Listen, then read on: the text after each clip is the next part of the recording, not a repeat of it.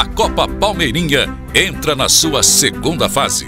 Neste domingo, dia 16, a bola rola no estádio Domingo Marques. O Minguitão. Frente, vem o Raul, entrou, a posição é boa, tocou na saída do goleiro. Gol! Às 14 horas, Associação Atlética Pontarindense contra Toa Toa Rubineia. Tocou pro bombom. Gol! E às 16 horas, o confronto fica por conta de duas pontes e Vildes Bar de Santa Rita. Veio o goleiro, bateu na saída, ali o gol!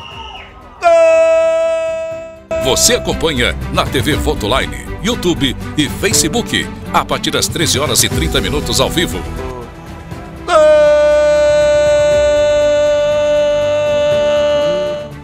Terceira Copa Palmeirinha de Futebol Amador. A emoção continua.